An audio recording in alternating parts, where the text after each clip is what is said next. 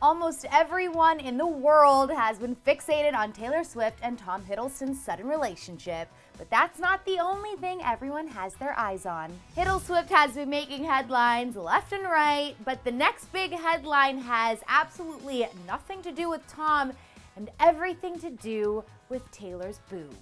A lot has changed in Taylor's life these past few months. She's gotten out of a long term relationship with Calvin Harris and into another one and changed her hair, and many are beginning to wonder if her hair color and relationship status were the only things that changed in her life.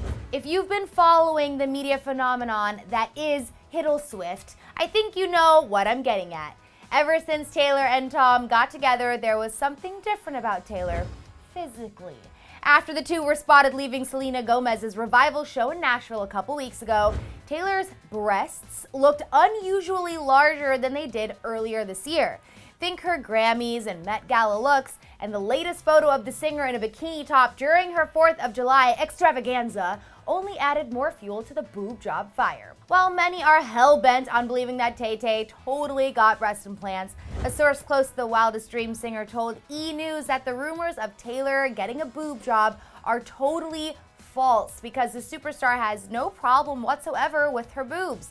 An insider explained to the outlet that Taylor has, quote, always liked her breasts, and she likes the fact that she can go braless and have them still be perky. And to back up their sources' claims of Taylor not having implants, E! News did a little more digging to reveal that T Swizzle can credit her Forever 21 bikini top for her flattering look due to the removable cups in the bikini top.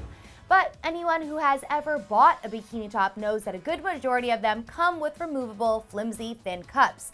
So unless Taylor swapped those out for a more padded cup, the ones that the bikini probably came with wouldn't really give anyone that much help in the chest department. So nice try, E.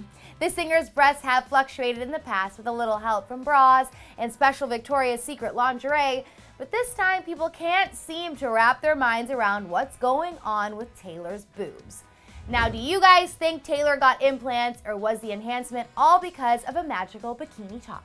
Let me know in the comments section right down here. And when you're done with that, you can click right over here to watch as Selena Gomez and Justin Bieber go head to head in a round of diss track. And as usual, don't forget to subscribe to our channel. Thanks so much for hanging out with me right here on Clevver News. I'm Sinead De Vries. And before you go, click to the left to check out Kendall Jenner's amazing style evolution on Dirty Laundry and over to the right for eight of the craziest exotic fruits on cheat day.